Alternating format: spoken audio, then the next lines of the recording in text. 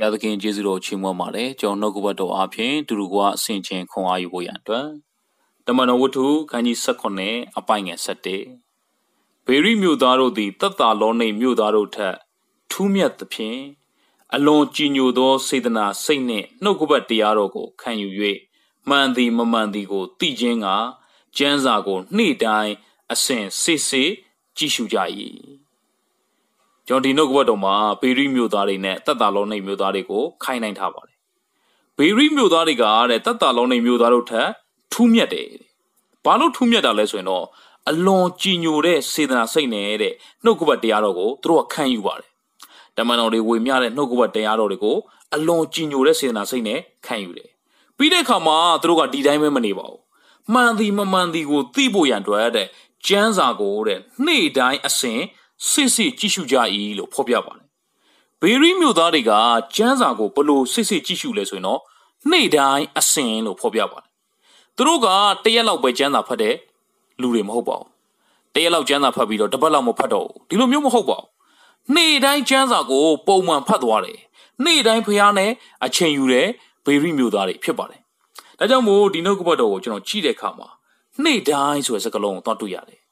နေ့တိုင်း ကျွန်တော်ကပုံမှန်ဖះနဲ့အချိန်ယူပြီးတော့ကျန်းစာဖတ်ဖို့အသက်ရှင်ဖို့အင်မတန်ရည်ကြီးပါတယ်။သင်ကနေ့တိုင်းမှန်မှန်ဖះနဲ့အချိန်ယူမယ်ဆိုရင်တော့သင်အသက်တာကထူးခြားလာမှာဖြစ်ပါတယ်။ဒါကြောင့်မို့ကျွန်တော်ရဲ့ဘဝသက်တာထဲမှာပုံမှန်ဖះနဲ့အချိန်ယူတတ်ဖို့လိုတယ်။ဘေရီမျိုးသားတွေကနေ့တိုင်းကျန်းစာကိုဖတ်တာနော်။တရက်ပဲဖတ်ပြီးတော့နောက်နေ့မှဖတ်တော့တာမဟုတ်ပါဘူး။နေ့တိုင်းဖះဆုတောင်းတယ်။နေ့တိုင်းဖះကိုကိုးကွယ်တယ်။နေ့တိုင်းသင်ဟာဖះနဲ့အသက်ရှင်ဖို့အင်မတန်ရည်ကြီးပါတယ်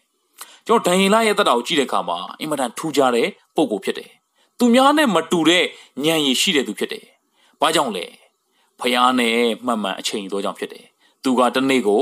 ၃ချိန်ဆူတောင်းတယ်။တစ်နေ့၃ချိန်ပုံမှန်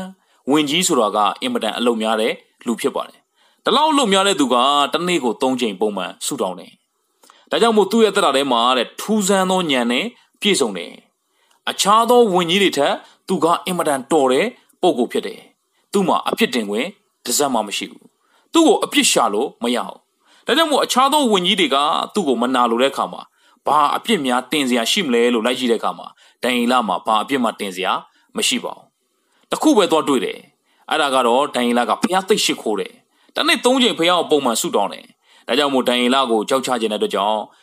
ဒါရီမင်းကိုသွားပြောတယ်။ဒီနေ့ကစပြီးတော့အရှင်မင်းကြီးကလွဲပြီးတော့အခြားဘယ်ဖျားကိုမဆိုရက်30အတွင်း မကိုးကွယ်ရဘူးလူကိုဖြစ်စေဖះကိုဖြစ်စေကိုးကွယ်တဲ့သူကိုရှင်သေတွင်းနဲ့ပြစ်ချပါလို့အမိန့်ထုတ်ပါဆိုပြီးတော့ဘယင်ကိုသွားပြောတယ်ဘယင်ကလည်းမသိဘူးလေဒိုင်လာကိုကြံရွယ်မှန်းဒိုင်လာကိုကြောက်ကြကြံမှန်းမသိတဲ့အခါမှာအမိန့်ထုတ်ပေးလိုက်တယ်ဒိုင်လာကတဲ့အဲ့ဒီအမိန့်ထုတ်တာကို तू သိပါတယ်တဲ့ဒါပေမဲ့အဲ့ဒီမိန့်ထုတ်တာကိုသိတော်ညာလဲ तू ပုံမှန်တိုင်းပဲတဲ့ဖះကိုတစ်နေ့သုံးချိန်ရှစ်ခိုးတယ်ဆိုတော့တွေ့ရတယ်တကယ်ဆိုရင်ဒီအမိန့်ထုတ်ထားတဲ့အချိန်မှာဟာခဏတော့နားလိုက်အောင်မယ် ဘယင်အမိန်ရှိတယ်ဖះရှိကိုရင်ချင်းတဲ့တွင်းနဲ့ပြစ်ချခံရမှာသူဒီလိုမလုပ်ပါဘူးတကယ်ဆိုရင်အသက်အန္တရာယ်ရှိတယ်အခက်ခဲတွေရှိပါတယ်ဒါပေမဲ့အဲ့ဒီဂျင်းတဲ့ချက်ထဲမှာပုံမှန်ဖះနဲ့အချိန်ယူသွားတယ်ပုံမှန်ဖះနဲ့ဆူတောင်းတယ်ဖះနဲ့ပုံမှန်အချိန်ယူတဲ့အခါမှာသူ့ဘဝသက်တာထဲမှာဒုက္ခအကြီးကျယ်ကြုံခဲ့ပါတယ်ဒန်အင်လာကိုချင်းတဲ့တွင်းနဲ့ပြစ်ချဖို့အကြောင်းဖြစ်သွားခဲ့တယ်ဒန်အင်လာကချင်းတဲ့တွင်းနဲ့ရောက်သွားတယ်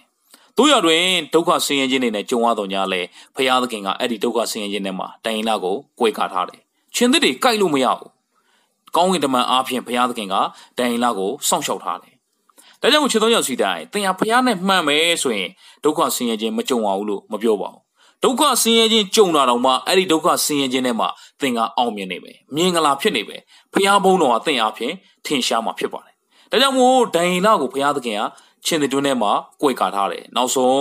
ရှင်ဘီရင်ဒါရိမင်းကတိတဲ့ခါမှာဒိုင်လာကိုချင်းတွင်းထဲကနေပြန်ထုတ်ပြီးတော့သူ့ကိုကြောက်ချတဲ့ဝင်ကြီးတွေကိုအဲ့ဒီထဲမှာပြစ်ချလိုက်တယ်။ဒါကြောင့်မို့ခြေသုံးယောက်စီတိုင်းကျွန်တော်ဘဝအတ္တထဲမှာဖရာသခင်နဲ့ပုံမှန်အချိန်ယူမယ်ဆိုရင်တော့သင်ရအတ္တကသူများထပ်ပို့ပြီးတော့ထူးကြမှာဖြစ်ပါတယ်။ကျွန်တော်ဝิญဉ်ရေးအတ္တမှာဖြတ်လန်းမရှိပါဘူး။နေချင်းညချင်းကြီးထွားရင်းကျက်သွားတယ်ဆိုတာမရှိပါဘူး။ဝิญဉ်ရေးအတ္တမှာပုံမှန်မှန်ကန်စွာနဲ့ဖရာနဲ့အချိန်ယူဖို့လိုအပ်ပါတယ် တကယ်လောက်ကျန်းစာဖတ်ပြီးလုံလောက်ပြီးဆိုပြီးတော့တနေ့လုံးကျန်းစာမဖတ်တော့တာလုပ်လို့မရပါဘူးတနေ့လောက်ဆူတောင်းပြီးတော့အာနောက်ရက်တွေဆူမတောင်းတော့ဘူးလုပ်လို့မရပါဘူးနေ့စဉ်ပုံမှန်ကျန်းစာဖတ်ခြင်းဆူတောင်းခြင်းဖျားနဲ့အချိန်ယူခြင်းကိုပုံမှန်လှုပ်ဆောင်ဖို့အင်မတန်ရေးကြည့်ပါတယ်စာတန်ကနေ့တိုင်းတွေးဆောင်နေတာဖြစ်ပါတယ်ကျွန်တော်တို့ကနေ့တိုင်းဖះနဲ့အချိန်မီဘူးဆိုရင်တော့စာတန်ရဲ့လှည့်ကွက်ထဲမှာကျွန်တော်တို့ကကြရှုံးသွားနိုင်စရာအကြောင်းရှိပါတယ်။ ဒါကြောင့်မို့စာတန်ကနေ့တိုင်းတွေးဆောင်ဖို့အစဉ်သင့်ရှိနေတယ်။သင်ကလည်းနေ့တိုင်းဖះနဲ့အချိန်ယူပြီးတော့သွားလာဖို့ဖြစ်တယ်။ဒိုင်လာကိုချောင်းနေတဲ့အခြားသောဝင်ကြီးတွေကအပြစ်တင်မှုအတွက်ဒိုင်လာမှာဘာမှအပြစ်တင်စရာမရှိဘူး။အပြစ်တင်စရာမရှိတဲ့အတွက်ကြောင့်ဖះရှိခိုးတဲ့ကိစ္စကိုပဲအပြစ်တင်မှုအတွက်လုပ်ရတယ်။တို့ရတွင်ဒိုင်လာကိုဘလောက်ပဲပြီးဒုက္ခရအောင်လုပ်ပါစေ။ဒိုင်လာကိုဘုရားသခင်ကကြွယ်ကာထားတယ်ဘုရားသခင်ကဒုက္ခထဲမှာသူ့ကိုမပြတ်စည်းသွားစေဘူး ကြွယ်ကာထားတယ်မဆထားတယ်အဲ့ဒီတွေကနေလွတ်မြောက်စေတယ်ဆိုတဲ့အကြောင်းကိုတမန်ကျမ်းစာမှာတွေ့ရပါတယ်ဒါကြောင့်မို့ချစ်တော်ညစီတိုင်းကျွန်တော်တို့ဘဝတက်တာထဲမှာဝိညာဉ်ရေးရာကြီးထွားရင်းချက်ဖို့ဖះနဲ့ပုံမှန်အချိန်ယူဖို့ဖြစ်ပါတယ်ကျွန်တော်တို့မှာဖြတ်လန်းမရှိဘူးနေချင်းညချင်းဖြစ်သွားတယ်ဆိုတာမျိုးမရှိပါဘူးဒါကြောင့်မို့ဖះသခင်နဲ့နေ့စဉ်ပုံမှန်ချိန်ခြင်းအပြင်ဖះသခင်ကြွယ်ကာခြင်းဖះသခင်မဆခြင်းကောင်းကြီးမင်္ဂလာနဲ့ထူးခြားသောအသက်တာနဲ့အသက်ရှင်နိုင်မယ့်အကြောင်းဝင်ကားပါတယ်အားလုံးပေါ်မှာဖျားရှင်ကောင်းကြီးပေးပါစေ။